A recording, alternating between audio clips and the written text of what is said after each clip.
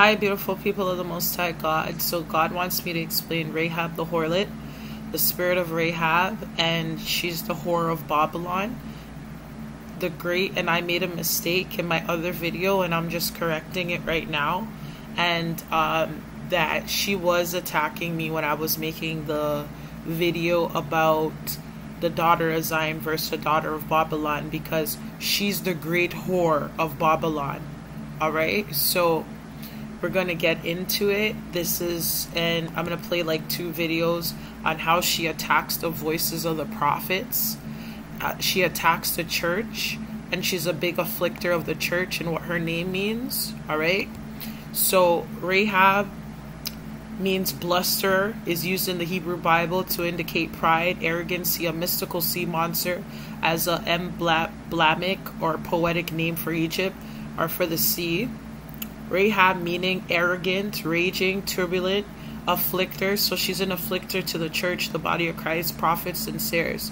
She's worse than Jezebel and she's worse than Delilah, and she cloaks herself under a fake pretense of the church. She's the one who perverted the ways of the church, right? Prival sea monster representing the forces of chaos God overcame in creation. So God also wants me to tell you that in in like TV shows, she's portrayed as the Scarlet Witch.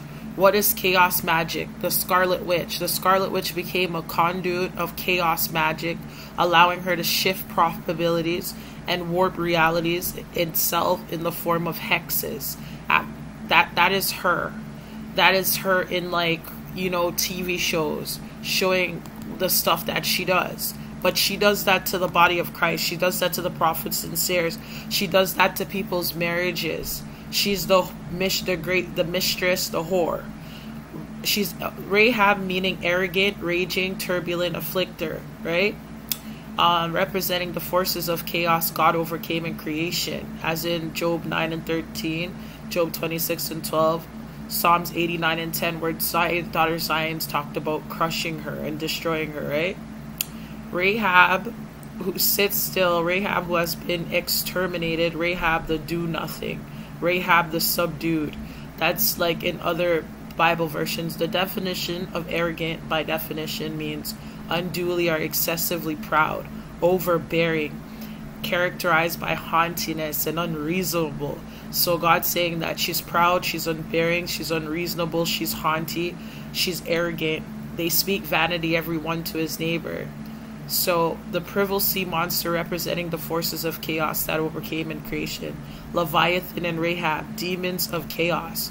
Demons that twist, suffocate, and attack God's purpose for your life the whore of Babylon. So the whore of Babylon, she is the whore of Babylon. So arrogancy, haughty, conceited, self-important, opinionated, full of oneself, overbearing, pompous. So we get the type of spirit she is, right? But she's a very dangerous spirit because she cloaks herself as being good. Proverbs 16 and 18 Pride goes before destruction, and a haughty spirit before a fall. We know God hates pride and he hates haughtiness, which the spirit of Rahab is. And she's the great whore of Babylon. The great whore. Not the dot the, the great whore. When it talks about the great whore. Uh, you know, Rahab in the story of jo- jo- um, in Joshua, she was the whore that saved um, them. Likewise, when not Rahab, the harlot justified by works, this is she never changed from being a harlot. All right, that's why in later it mentions in Isaiah 80 in Psalms 87 and 4, I will make mention of Rahab and Babylon to them that know me, because she's the great whore of Babylon. Behold, Philistia and Tyre Ethiopia, this man was born there. And then in Psalms 89 and 10, Thou hast broken Rahab in pieces. Daughter Zion's going to break Rahab in pieces.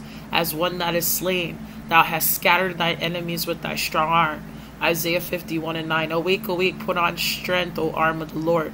Awake as in ancient days, that's the daughter of Zion, in the generations of old. Are not thou it that has cut Rahab and wounded the dragon? This is talking about that that Rahab. She's gonna be cut down by daughter Zion. You guys are gonna everyone's gonna see that fight. And God says in Isaiah 30, 13 and 11, And I will punish the world for their evil and the wicked for their iniquity, and I will cause the arrogancy of the proud to cease. The arrogancy of the proud is um, the whore of Babylon, Rahab, the harlot. And I will lay low the haughtiness of the terrible. 1 Samuel 2 and 3. Talk no more so exceedingly proudly. Let not arrogancy come out of your mouth, for the Lord is the is a God of knowledge and by him actions are weighed.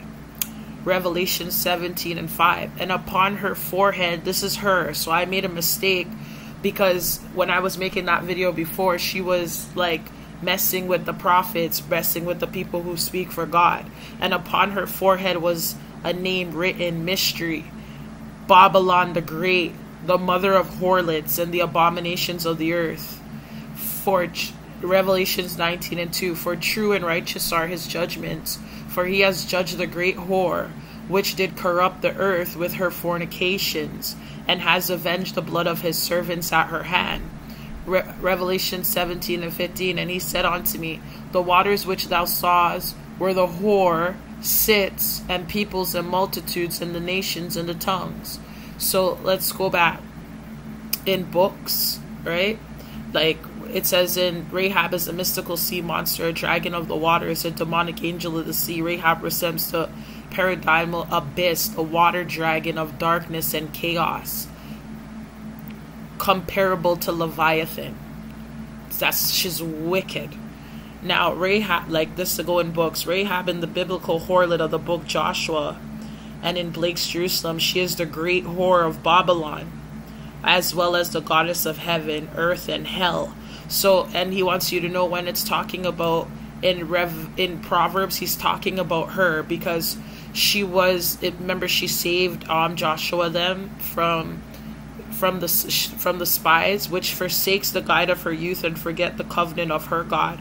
For her house inclines unto death, and her paths unto the dead.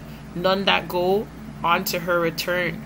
Again, neither they take hold of the paths of life that's talking about her. God said he is talking about her to deliver thee from the strange woman, even the stranger which flatters with her words. That forsakes the guide of her youth because God had mercy on her. With Joshua, God had mercy on her and she's just wicked. Right? By faith, the harlot Rahab perished not with them that believe not, because she that that time she believed in God when she had received the spies the spies with peace. So he's talking about her in Proverbs. She's the evil woman whose foot take on hell and death, and her steps go down to hell. She's the strange woman God's talking about. And the one who perverted the church. So we're going to even go to some women's videos talking more about her, but this is very important. I'm going to go back to some books because you have to get the full understanding.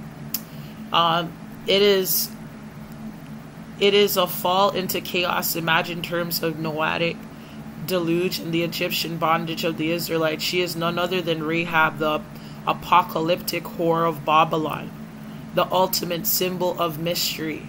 So she cloaks herself. Rahab the whore is the whore of Babylon, which him to sedu- seductive human form of nature, conflict with the dragon, and chaos. So she seduces people's husbands and wives. She puts a lot of promiscuity, sexual immorality, adultery. She's the mother of harlots. Rahab the whore, the mystery Babylon. So I just want you to know she causes chaos and confusion and disorder. So if we go to what slavery is Rahab, the whore of Babylon, the forces of mystery. So if we go to what chaos means, this is all the stuff she does to people's marriages, people's life, and into the church of God in churches. So people disorder. She brings disorder, disarray, disorganization, confusion, mayhem, bedlam, phenomenon, madness. She put strikes people with madness, havoc, turmoil, tumult, commotion, disruption, upveil, furor, frenzy, uproar